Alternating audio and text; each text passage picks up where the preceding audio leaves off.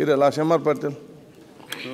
ಮಾನ್ಯ ಅಧ್ಯಕ್ಷರೇ ಅಫ್ಜಲ್ಪುರ ತಾಲೂಕಾ ಕೇಂದ್ರ ಇದ್ದರೂ ಕೂಡ ಅಲ್ಲಿ ಡಾಕ್ಟರ್ ಅಂಬೇಡ್ಕರ್ ಭವನ ಹತ್ತು ವರ್ಷದಿಂದನೂ ಅದು ಇನ್ನೂ ಅಲ್ಲ ಇನ್ನೂ ಮುಗಿದಿಲ್ಲ. ರೈಟ್. ಮತ್ತು ಅದಕ್ಕೆ ಸುಮಾರು ಐದು ಕೋಟಿ ಕೊಟ್ಟರೆ ಅದು ಇಲ್ಲ ನಿಮ್ಮ ಸ್ಪೆಸಿಫಿಕ್ ವಿಚಾರವನ್ನು ಅವ್ರ ಕಚೇರಿಗೆ ಬರೆದು ಕೊಟ್ಟರೆ ಅಲ್ಲಿ ಕ್ಲಿಯರ್ ಮಾಡಿ ಕೊಡ್ತಾರೆ. ಹಿರಿಯರಿದ್ದಾರೆ.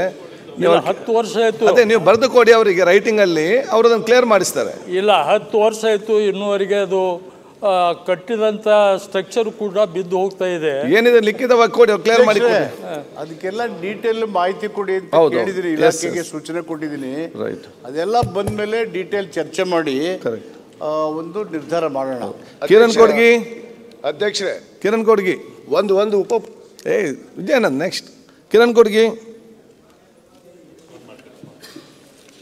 ಪ್ರಶ್ನೆ ಸಂಖ್ಯೆ ನೂರ ಅರವತ್ನಾಲ್ಕನ್ನು ಹಿಂದುಳಿದ ವರ್ಗಗಳ ಕಲ್ಯಾಣ ಹಾಗೂ ಕನ್ನಡ ಮತ್ತು ಸಂಸ್ಕೃತಿ ಇಲಾಖೆ ಸಚಿವರಿಗೆ ಕೇಳಬಯಸ್ತೇನೆ ಮಾನ್ಯ ಉತ್ತರವನ್ನು ಒದಗಿಸಲಾಗಿದೆ.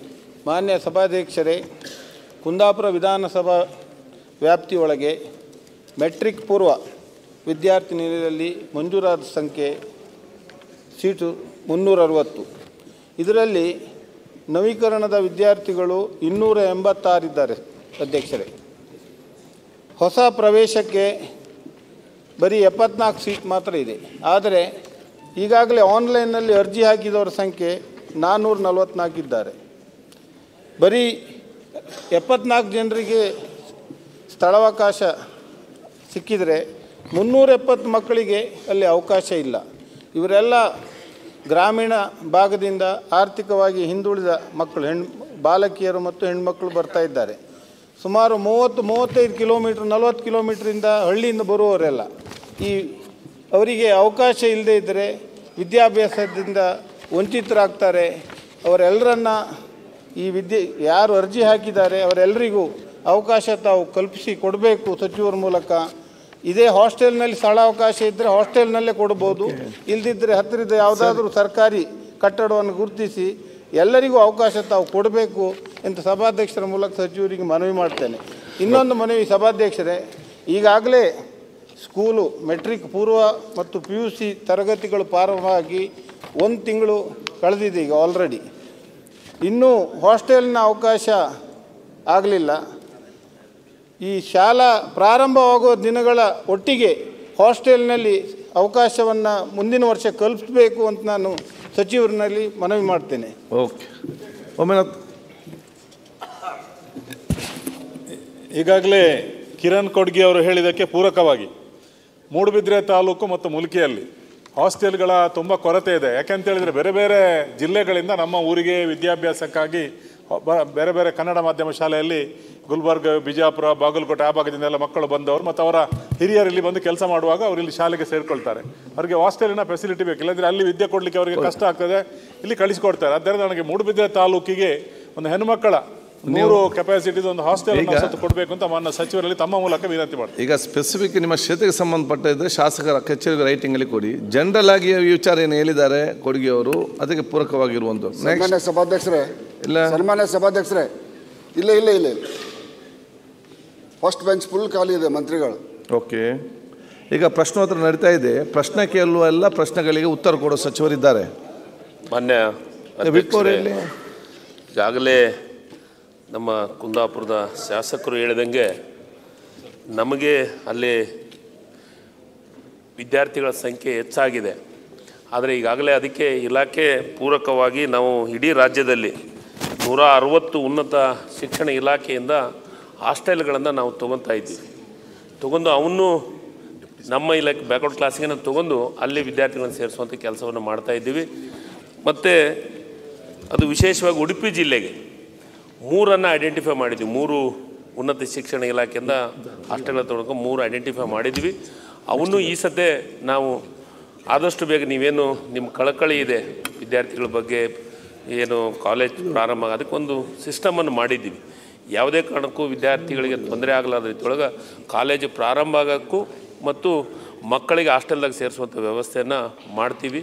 ಮತ್ತು ಇನ್ನೂ ನೀವು ಇನ್ನೂ ಹೆಚ್ಚಿಗೆ ಬೇಕಂದರೆ ಈ ಸತೆ. ನನ್ನ ಆರ್ಥಿಕ ಬಜೆಟ್ ಆದಮೇಲೆ ಆರ್ಥಿಕ ಇಲಾಖೆದ ಪರಿಸ್ಥಿತಿಯನ್ನು ನೋಡಿಕೊಂಡು ಎಲ್ಲೆಲ್ಲಿ ಯಾವ ಹೆಚ್ಚು ಅವಶ್ಯಕತೆ ಇದೆ ಅಲ್ಲಿನ ನೋಡಿ ಪರ ಪ- ಪರಿಶೀಲನೆ ಮಾಡುವಂಥ ಕೆಲಸವನ್ನು ಮಾಡ್ತೀನಿ ಮನೆ ಒಂದು ಒಂದು ಉಪಪ್ರಶ್ನೆ ಏನಿಲ್ಲ? ಯಶ್ಪಾಲ್ ಕೂತ್ ಕರಿತೇನೆ ಕೂತ್ಕೊಳ್ಳಿ ನಾನು ಶಾ- ಶಾಲಾ ಪ್ರಾರಂಭವಾಗುವ ದಿನದಲ್ಲೇ ಹಾಸ್ಟೆಲ್ನ ಅವಕಾಶ ತಾವು ಕಲ್ಪಿಸಬೇಕು ಮುಂದಿನ ವರ್ಷದಲ್ಲಿ ಅಂತ ನಾನು ವಿನಂತಿ.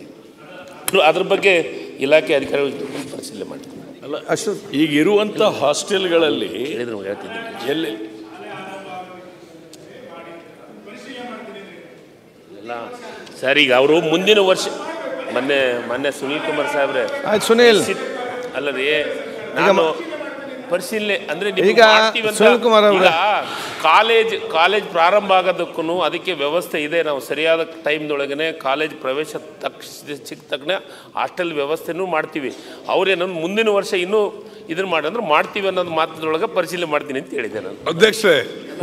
ಒಂದು ಅಲ್ಲಿಗೆ ಒಂದು ಬೇಗ ಫಾಸ್ಟ್ ಒಂದು ಪ್ರಶ್ನೆ ಕೇಳೋದು. ಈಗಾಗಲೇ ಕೆಲವು ಹಾಸ್ಟೆಲ್ಗಳಲ್ಲಿ ಹೆಚ್ಚಿನ ಮಕ್ಕಳು ತಗೊಳ್ತಕ್ಕಂಥ ಅವಕಾಶ ಇದೆ. ಸ್ವಲ್ಪ ಇನ್ಫ್ರಾಸ್ಟ್ರಕ್ಚರ್ನಲ್ಲಿ ಕಾಟು ಬೆಡ್ ಅಂಥದ್ದು ಕೊಡಬೇಕು. ಅಂಥದ್ದನ್ನು ಕೊಟ್ಟು ಅಲ್ಲಿ ಅಲ್ಲಿ ಸಂಖ್ಯೆ ಹೆಚ್ಚು ಮಾಡಿದ್ರೆ ಸಾಕು. ಎಷ್ಟೋ ಸಮಸ್ಯೆ ನಿವಾರಣೆ ಮಾಡ್ಲಿಕ್ಕೆ ಸಾಧ್ಯ ಆಗುತ್ತೆ. ಅದಕ್ಕಾದರೂ ಕ್ರಮ ಕೈಗೊಳ್ತೀರಾ? ಯಶ್ಪಾಲ್. ಅಧ್ಯಕ್ಷರೇ ನಿಮ್ಮ ಹಿರಿಯ ಹಿರಿಯ ಸದಸ್ಯರು ಹೇಳ್ದಂಗೆ ಆಯ್ತು ಅವೆಲ್ಲ ಎರಡು ಪ್ರಶ್ನೆ ಕೇಳಿ ಮತ್ತೆ ಒಟ್ಟಿಗೆ ಉತ್ತರ ಕೊಡಿ. ಮಾನ್ಯ ಕಿರಣ್ ಕೊಡುಗೆಯವರ ವಿಷಯಕ್ಕೆ ಪೂರಕವಾಗಿ ಉಡುಪಿ ಜಿಲ್ಲೆಗೆ ಸಂಬಂಧಪಟ್ಟಂತೆ ಕೇವಲ ಉಡುಪಿ ಜಿಲ್ಲೆಯ ವಿದ್ಯಾರ್ಥಿಗಳು ಮಾತ್ರ ಉಡುಪಿಯಲ್ಲಿ ಶಿಕ್ಷಣವನ್ನು ಪಡೆಯುತ್ತಿಲ್ಲ ಬಹುಶಃ ನೆರೆಯ ಐದು ಜಿಲ್ಲೆಯ ವಿದ್ಯಾರ್ಥಿಗಳು ಶಿಕ್ಷಣಕ್ಕಾಗಿ ಉಡುಪಿ ಜಿಲ್ಲೆಗೆ ಬರ್ತಾರೆ. ಆ ಸಂದರ್ಭದಲ್ಲಿ ಉಡುಪಿ ಜಿಲ್ಲೆಯ ಹಾಸ್ಟೆಲ್ಗೆ ಸಂಬಂಧಪಟ್ಟಂತೆ ಹೆಚ್ಚಿನ ಒಂದು ಅವಕಾಶವನ್ನು ಕಲ್ಪಿಸಿಕೊಡ್ಬೇಕು. ಅದೇ ರೀತಿ ಮಾನ್ಯ ಸಚಿವರಲ್ಲಿ ನಾನು ವಿನಂತಿ ಮಾಡ್ತೇನೆ ಈಗಾಗಲೇ ಉಡುಪಿ ಜಿಲ್ಲೆಯ ಉಡುಪಿ ನಗರ ಭಾಗದಲ್ಲಿ ಆರು ಕೋಟಿ ವೆಚ್ಚದಲ್ಲಿ ಹಿಂದುಳಿದ ವರ್ಗದ ಹಾಸ್ಟೆಲ್ ನಿರ್ಮಾಣ ಆಗ್ತಿದೆ. ಆದರೆ ಸ್ವಲ್ಪ ನಿಧಾನಗತಿಯಲ್ಲಿ ಅದು ಕೆಲಸ ಕಲ ಆಗ್ತಾ ಉಂಟು. ಅದರಿಂದಾಗಿ ತಕ್ಷಣ ಅದಕ್ಕೆ ಚುರುಕು ಮುಟ್ಟಿಸುವಂಥ ಕೆಲಸ ಮಾಡಬೇಕು. ಮುಂದಿನ ಅಕಾಡೆಮಿಕ್ ಇಯರಲ್ಲಿ ಅದನ್ನು ಪ್ರಾರಂಭ ಆದರೆ ಬಹುತೇಕ ವಿದ್ಯಾರ್ಥಿಗಳಿಗೆ ಅನುಕೂಲ ಆಗ್ತದೆ. ಓಕೆ ಕೃಷ್ಣ ಒಂದು ನಿಮಿಷ ಅವರು. ಅಧ್ಯಕ್ಷರೇ ಏನು ನಮ್ಮ ವಸತಿ ಶಾಲೆಯಲ್ಲಿ ಐವತ್ತು ಅರವತ್ತಕ್ಕೆ ಲಿಮಿಟ್ ಮಾಡಿದ್ದಾರೆ. ತುಂಬ ಡಿಮ್ಯಾಂಡ್ ಇದೆ. ಈ ಪ್ರಸ್ತುತ ಇರ್ತಕ್ಕಂಥ ಐವತ್ತು ಸೀಟನ್ನು ಕೊನೆ ಪಕ್ಷ ಎಪ್ಪತ್ತಿಗೆ ಅನೌನ್ಸ್ ಮಾಡಿದರೆ ಸ್ವಲ್ಪ ಮಟ್ಟಿಗೆ ಅದು ಫುಲ್ಫಿಲ್ ಆಗುತ್ತೆ. ಅದ್ರ ಬಗ್ಗೆ ದಯಮಾಡಿ ಸಚಿವರು ಗಮನ ಹರಿಸ್ಬೇಕು ಅಂತ ನಾನು ವಿನಂತಿಸ್ಕೊತೀನಿ ಸರ್ ನೆಕ್ಸ್ಟ್ ನಮ್ದು ಅದೇ ರೀತಿ ಸಮಸ್ಯೆ ಇದೆ ಅಧ್ಯಕ್ಷರೇ. ಕನಿಷ್ಠ. ಒಂದು ಹತ್ತರಿಂದ ಹದಿನೈದು ಮಕ್ಕಳನ್ನಾದರೂ ಈ ಸಾರಿ ಸೇರಿಸಿದ್ರೆ ಒಂದು ಅನುಕೂಲ ಆಗುತ್ತೆ ಓಕೆ ಓಕೆ. ಬೆಲ್ಲದ? ಮಾನ್ಯ ಅಧ್ಯಕ್ಷರೇ ತಮ್ಮ ಮೂಲಕ ಮಂತ್ರಿಗಳ ಗಮನಕ್ಕೆ ತೊಗೊಂಬರಕ್ಕೆ ಇಚ್ಛೆಪಡ್ತೇನೆ. ನಮ್ಮ ಧಾರವಾಡದಲ್ಲಿ ಸುಮಾರು ಹದಿನಾರರಿಂದ ಹದಿನೇಳು ಸಾವಿರ ಹಾಸ್ಟೆಲಿಗೆ ರಿಕ್ವೆಸ್ಟ್ ಬರ್ತಾವೆ ಎವ್ರಿ ಇಯರ್ ಅಪ್ಲಿಕೇಶನ್ಸ್ ಅಲ್ಲಿ ಸೀಟ್ ಅವೈಲೇಬಲ್ ಇರೋದು ಐದುನೂರು ಒಂದು ಸಾವಿರ. ಭಾಳ ಅಂದ್ರೆ ಭಾಳ ದೊಡ್ಡ ಗ್ಯಾಪ್ ಇದೆ. ಆ ಮಕ್ಕಳು ಅಡ್ಮಿಷನ್ ತೊಗೊಂಡಿರ್ತಾವೆ ಎಲ್ಲಿರಬೇಕಂತ ಗೊತ್ತಾಗಲ್ಲ. ಅದಕ್ಕೆ ಇಮಿಡಿಯೇಟ್ಲಿ ಅದ್ರ ಬಗ್ಗೆ ಹಾಸ್ಟೆಲ್ಸ್ ಬಗ್ಗೆ ಏನಾದರೂ ಗುರು? ಮಾನ್ಯ ಅಧ್ಯಕ್ಷರೇ ಈ ಆಯ್ಕೆ ಪ್ರಕ್ರಿಯೆ ಲೇಟ್ ಆಗೋದ್ರಿಂದ ಬೇರೆ ಜಿಲ್ಲೆಯಿಂದ ಅಲ್ಲಿ ಸೀಟ್ ಅವೈಲೇಬಲ್ ನೂರು ಮುನ್ನೂರು ಜನ ಬಂದಿರ್ತಾರೆ. ಅವ್ರು ನೂರು ಜನ ಯಾರು ಆಯ್ಕೆ ಮಾಡ್ತಾರಂತ ಕಾಯ್ತಾ ಹೊರಗಡೆ ಮಲ್ಕೊಂಡಿರ್ತಾರೆ. ಪೇರೆಂಟ್ಸ್ ಸಹಿತ ಬಂದಿರ್ತಾರೆ ಬೇರೆ ಜಿಲ್ಲೆಯವರು.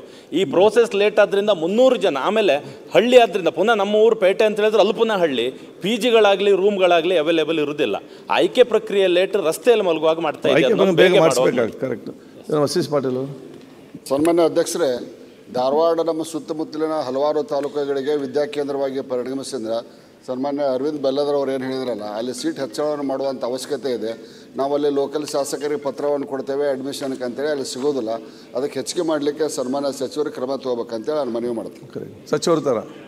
ಅಧ್ಯಕ್ಷರೇ ಎಲ್ಲರ ಪ್ರಶ್ನೆ ಒಂದು ಏನಂದ್ರೆ ನಮ್ಮ ನಾಡಗೌಡ ಸಾಹೇಬ್ರು ಹೇಳ್ದಂಗೆ ಎಲ್ಲೆಲ್ಲಿ ಜಾಸ್ತಿ ಮಾಡಬೇಕು ವಿದ್ಯಾರ್ಥಿಗಳನ್ನು ಅಂದರೆ ಆ ಹಾಸ್ಟೆಲ್ ಬಿಲ್ಡಿಂಗಿನ ಅನುಗುಣವಾಗಿ ಅದಕ್ಕೆ ಎಷ್ಟು ಬಿಲ್ಡಿಂಗಿಗೆ ಬಿಲ್ಡಿಂಗ್ನೊಳಗೆ ಅತಿ ಹೆಚ್ಚು ಜ ವಿದ್ಯಾರ್ಥಿಗಳನ್ನು ಸೇರಿಸಿದ್ರು ನಮಗೆ ಕಷ್ಟ.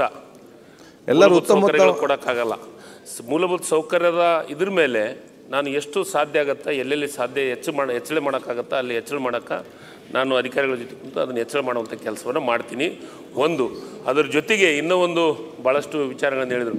ಹಾಸ್ಟೆಲು ಸರಿಯಾದ ಟೈಮ್ಗೆ ಪ್ರಾರಂಭ ಮಾಡ್ತೀವಿ. ಎಷ್ಟು, ಕೆಲವೊಂದಿಷ್ಟು ಹಾಸ್ಟೆಲ್ದು ಹಾಸ್ಟೆಲ್ನು ನಾವು ಇಮಿಡಿಯೇಟ್ ಹೊಸದು ಕಟ್ಟಡ ಮಾಡೋಕ್ಕಲ್ಲ ಅದಕ್ಕೆ ಕಾಲಾವಕಾಶ ಬೇಕು. ಎಲ್ಲೆಲ್ಲಿ ಅವಶ್ಯಕತೆ ಇದೆ ಅದನ್ನು ತೆಕ್ಕೊಳ್ಬೋದು ರೆಂಟಿಗೆ ತಗೊಳ್ಬೋದು ಒಟ್ಟಿಗೆ ನಿರ್ಧಾರ ತಗೋ ರೆಂಟಿಗೆ ಬಾಡಿಗೆಗೆ. ಅಲ್ಲಲ್ಲ ರೆಂಟಿಗೂ ತಗೊತಾ ಇದ್ದೀವಿ. ಅದರ ಜೊತೆಗೆ ಈಗಾಗಲೇ ನಾವು ನೂರ ಅರವತ್ತು ಉನ್ನತ ಶಿಕ್ಷಣ ಇಲಾಖೆಯಿಂದ ಬಿಲ್ಡಿಂಗ್ಗಳನ್ನು ತಗೊಂತಾ ಇದ್ದೀವಿ ಮಾನ್ಯ ಅಧ್ಯಕ್ಷರೇ. ಅದನ್ನು ತಗೊಂಡು ಎಲ್ಲೆಲ್ಲಿ ಇದೆ ಅದನ್ನು ಮಾಡ್ತೀವಿ. ಅದ್ರ ಜೊತೆಗೆ ಅದಕ್ಕಿಂತ ಹೆಚ್ಚು ಮಕ್ಕಳಾದರೆ ಅದಕ್ಕೆ ಈಗಾಗಲೇ ಸರ್ಕಾರದಿಂದ ವಿದ್ಯಾಶ್ರೀ ಯೋಜನೆಯನ್ನು ಸಾವಿರದ ಐನೂರು ರೂಪಾಯಿ ಕೊಡುವಂಥ ಕೆಲಸವನ್ನು ಮಾಡ್ತಾ ಇದ್ದೀವಿ. ಅದಕ್ಕೆ ಎಷ್ಟೆಷ್ಟು ಸಾವಿರದ ಸಾವಿರದ ಐನೂರು ಈಗ ಚರ್ಚೆ ಬೇಡ ಅವ್ರು ಹೇಳ್ತಾರೆ ಉತ್ತರ ಕೊಡ್ತಾರೆ ಹೇಳಿ ಹೇಳ್ಬೇಡಿ. ಸರ್ ಎಲ್ಲೆಲ್ಲೇ ಸಾಧ್ಯ ಇದೆ ಅಲ್ಲೇ ನಾವು ಈಗ ನೂರ ಅರವತ್ತು ಬಿಲ್ಡಿಂಗ್ ಏನೇನು ತಗೊಂತೀವಿ. ಅದನ್ನು ಧಾರವಾಡ ಜಿಲ್ಲೆ ಇರ್ಬೋದು ಮತ್ತು ಹುಬ್ಳಿ ಧಾರವಾಡ ಜಿಲ್ಲೆದೊಳಗೂ ಇದಾವೆ ನಮ್ಮ ಉನ್ನತ ಶಿಕ್ಷಣ ಇಲಾಖೆ ಮಾಡುವಂಥ ಕೆಲಸವನ್ನು ಮಾಡ್ತೀವಿ. ಅದು ಸಾವಿರದ ಐದುನೂರು ರೂಪಾಯಿ ಇಮಿಡಿಯೇಟ್ಲಿ ಕೊಡೋಂಗಾರ ಮಾಡ್ರಿ.